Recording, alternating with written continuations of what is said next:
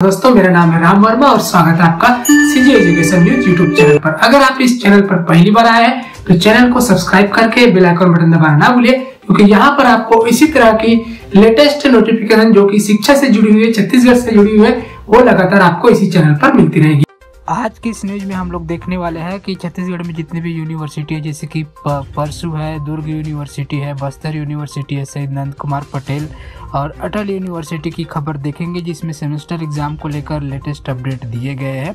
और यहाँ पर वही सब डिटेल में देखने वाले बहुत ही अहम खबर है तो चलिए फटाफट शुरू करते हैं और यहाँ पर देखते हैं कि पंडित रविशंकर शुक्ल यूनिवर्सिटी से पिछले दिनों मैंने ये वीडियो में बताया था कि जो सेमेस्टर एग्ज़ाम है, ऑफलाइन होने वाली थी, अब वो स्थगित कर दी गई है। अब उसके लिए नए सिरे से यहाँ पर नया जो है टाइम टेबल आएगा, उसके हिसाब से एग्ज़ाम होंगे। पहले 25 जनवरी से स्टार्ट होने वाले थे सेमेस्टर एग्ज़ाम ऑफलाइन मोड में।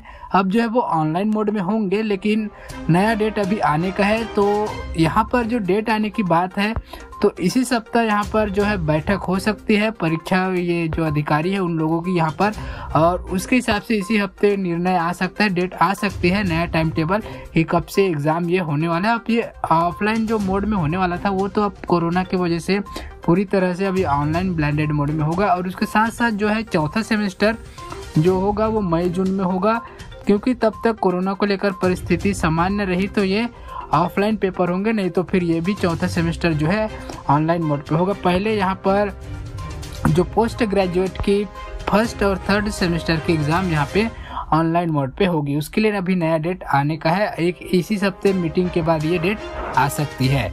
उसके बाद यहाँ पर हम लोग देखते हैं तो दुर्ग यूनिवर्सिटी में भी यहाँ पर जो है ऑनलाइन मोड पे एग्ज़ाम होंगे। घर से आपको लिख कर यहाँ पर एग्ज़ाम देना होगा। यहाँ पर 20 जनवरी से यहाँ पर जो है दुर्ग यूनिवर्सिटी के जो पोर्टल है, वहाँ पर क्वेश्चन पेपर आ जाएँगे। आपको घर से ही लिख कर ये पेपर जो है जमा करना है आंसर शीट तो यहाँ पर जो है परीक्षा का टाइम टेबल भी मैंने एक वीडियो बना के आपको दे दिया। वहाँ से आप जाकर इसको देख सकते ऊपर आई बटन पर भी आपको मिल जाएगा।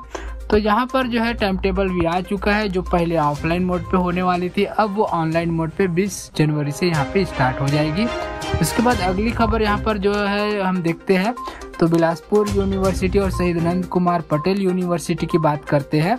तो यहाँ पर सत्र 2021-22 के फ़र्स्ट और सेकंड सेमेस्टर के छात्रों की परीक्षाएँ ऑनलाइन या ब्लेंडेड मोड से होगी। अब दोनों में जो है, ऐसे अटल यूनिवर्सिटी और शहीद नंद कुमार पटेल यूनिवर्सिटी में अभी तक जो रेगुलर, प्राइवेट और सेमेस्टर के दो लाख तीस हज़ार छात्र परीक्षा फॉर्म भरे हैं। इनमें से पंद्रह हज़ार स्टूडेंट प्रथम व तृतीय सेमेस्टर के हैं, जिनकी परीक्षा यहाँ पे ऑनलाइन मोड पे होगी। इसके लिए यूनिवर्सिटी को कार्य परिषद से अनुमोदन लेना है। वही वार्षिक पद्धति के नियमित प्राइवेट और दूसरे चौथे और पाँचवें सेमेस्टर के दो लाख पंद्रह हज़ार स्टूडेंट के संबंध में अभी भी कोई निर्णय नहीं आया है। तो यहाँ पर फ़र्स्ट और थर्ड सेमेस्टर के यहाँ पर जो पीजी वाले हैं, उनका ही एग्ज़ाम यहाँ पे ऑनलाइन मोड पे होगा रेगुलर वालों का। और यहाँ पे जो सेमेस्टर एग्ज़ाम पद्धति को छोड़कर जो वार्षिक पद्धति और प्राइवेट वाले जो स्टूडेंट हैं, वार्षिक पद्धति के नियमित और प्राइवेट वाले, इनका अभी क्या होगा, इसके बारे में फैसला नहीं आया है। जल्दी इसके बारे में फैसला आएगा तो उसका अपडेट आपको इस चैनल पर मिलेगा। उसके बाद देखते हैं, रायगढ़ से तो शहीद नंद कुमार पटेल विश्वविद्यालय ने पहले कॉलेजों के इंटर, इंटरनल और प्रैक्टिकल एग्ज़ाम ऑफलाइन कराने को कहा था, जिसे उस अब रद्द कर दिया गया है। कॉलेज एग्ज़ाम भी अब ऑनलाइन ही होगा। कॉलेज की पोस्ट ग्रेजुएशन की फ़र्स्ट और थर्ड सेमेस्टर की परीक्षाएँ जो है ऑनलाइन मोड से ली जाएगी। और पीजी में फ़र्स्ट और थर्ड सेमेस्टर के अलावा एलएलबी, एलएलएम के स्टूडेंट की भी यहाँ पर परीक्षा होगी। उसके बाद यहाँ पर देखते हैं जगदलपुर से बस्तर यूनिवर्सिटी के बारे में। स्टूडेंट जो है 17 जनवरी से लेकर 31 जनवरी तक ऑनलाइन परीक्षा फॉर्म भर सकते हैं। इसके बाद 3 फरवरी से कॉलेज यूनिवर्सिटी से संबंधित काम निपटाएँगे और फिर छात्रों के प्रवेश पत्र बनाने का काम शुरू होगा। इस बार परीक्षा फॉर्म भरवाने में ही बस्तर यूनिवर्सिटी एक महीने लेट हो गया है। इससे पहले के सत्रों में परीक्षा फॉर्म भरवाने का काम एक दिसंबर तक पूरा हो जाता था, लेकिन कोरोना के चलते बस्तर यूनिवर्सिटी में दिसंबर तक परीक्षाएँ ही चलती रही। इधर अभी राज्य सरकार ने सिर्फ़ सेमेस्टर परीक्षाओं को ऑनलाइन मोड से करवाने के निर्देश दिए हैं। ऐसे में जिन कक्षाओं के सेमेस्टर से पढ़ाई हो रही है, वही परीक्षा ऑनलाइन होगी।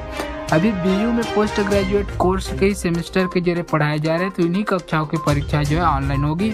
बीयू के जो यूजी वाले कोर्स है, उसके लिए परीक्षा ऑफलाइन मोड में करवाने की तैयारी कर रहा है। अब तो ये आज टाइम पर ही डिपेंड करेगा कि जिस टाइम ये यूजी वाले के एग्ज़ाम करीब आएँगे, उस टाइम की परिस्थिति क्या रहती है।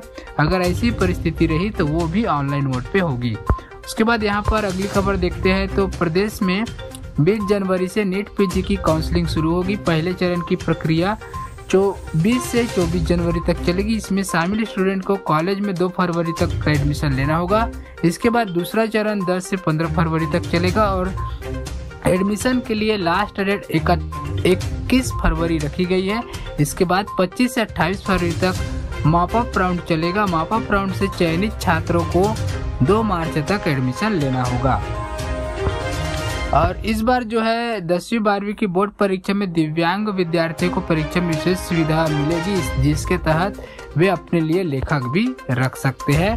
तो ऐसे परीक्षार्थी जो हाथ की हड्डी टूट जाने के कारण अथवा हाथ में खराबी होने के कारण लिखने में सक्षम न हो उन्हें लेखक की सुविधा भी दी जाती है। यदि परीक्षा केंद्र द्वारा स्क्राइब रीडर प्रदान किया जाता है तो उसकी योग्यता परीक्षा के न्यूनतम योग्यता मानदंड से अधिक नहीं होती। यदि विद्यार्थी को स्क्राइब राइडर की अनुमति दी जाती है तो उसकी योग्यता उम्मीदवार की योग्यता से एक कक्षा नीचे रहती है। तो इस बार जो है और इसके साथ साथ जो दृष्टि बाधित और मानसिक रूप से दिव्यांग विद्यार्थियों को निर्धारित समय से डेढ़ घंटे का अतिरिक्त समय दिया जाएगा। तो ये सब सुविधाएँ इस बार मिलने वाली है। तो ये था दोस्तों आज के डेट में छत्तीसगढ़ की शिक्षा से जुड़ी हुई तमाम खबरें। ये खबर आपको कैसी लगी? अच्छी लगे तो लाइक कीजिए और ऐसे लेटेस्ट अपडेट के लिए चैनल को सब्सक्राइब कीजिए। धन्यवाद, मिलते हैं एक नए न्यूज़ के साथ एक नए वीडियो में।